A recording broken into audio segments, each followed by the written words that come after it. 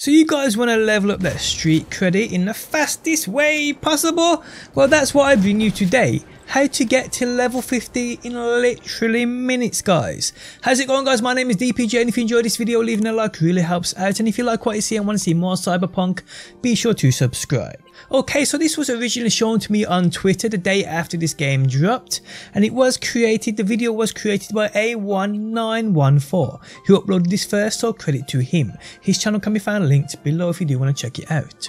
So this exploit sees you easily being able to get to that max street cred level in the shortest time possible. 10, 15, 20 minutes. It just all depends on what platform you are playing on as this consists of saving and loading the game.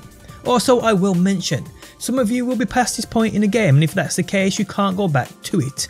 But if and when you start a second character or even a third character, keep this in mind if you do want to level up that street cred fast. So this is how it's done. And firstly guys, make sure you have a melee weapon on you.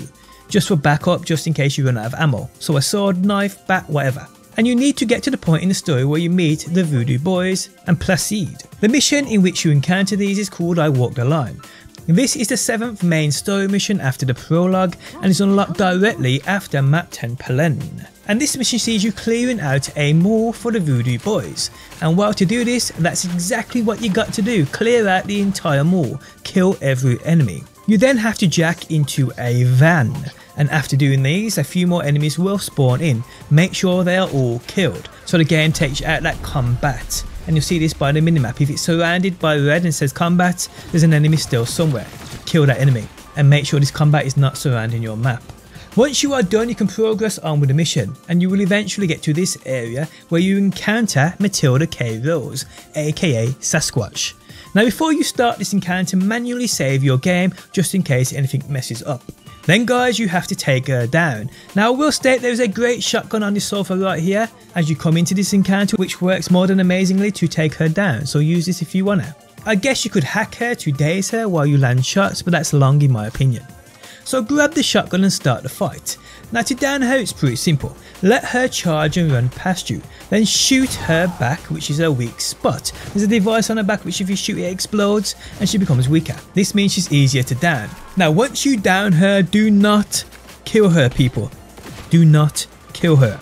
Here again create another save point just in case but don't overwrite the last one you just made.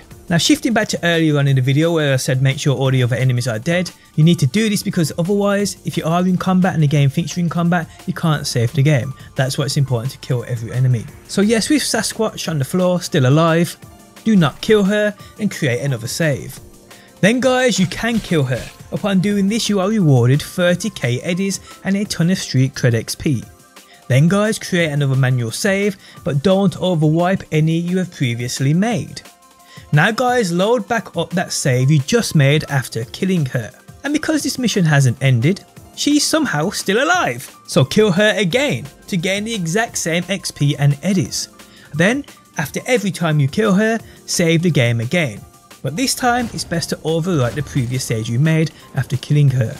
Otherwise, you're going to have a ton of unnecessary save points. So it's a case of killing her, gaining XP and money, saving it, loading that save point back up and repeating the process over and over. And well if this is your kind of thing you may as well rinse and repeat it until you hit that street cred max level of 50 and then continue on with the mission unless you like how efficient this is in earning those eddies too. And if you want you can continue on doing this for as long as you please. Now I was literally getting one street cred level every single time I killed her, so it all just depends on how fast you can save and load the game. For me it was pretty quick, but on those older gen consoles it will take longer obviously.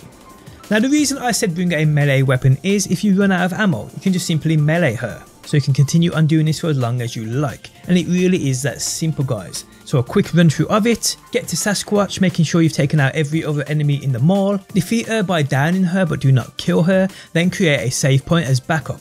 Then just kill her guys. Upon killing her you will get XP and money. Then create a save point. Then load that save point back up. And somehow she's revived kill her again, earn that XP and money, create another save point, overwriting the last one, load it back up, again she's still alive, kill her again, earn that XP. Simply rinse and repeat this process until you get all what you need guys and it is as simple as that. And on that note guys the end of the video has arrived. If you enjoyed it leaving a like really helps out. If you're new around here and want to see more Cyberpunk be sure to subscribe and if you never want to miss a video upload you can turn notifications on by hitting that bell button. But guys thanks as always for stopping by. Hopefully you enjoyed the video and hopefully I will see you on that next one.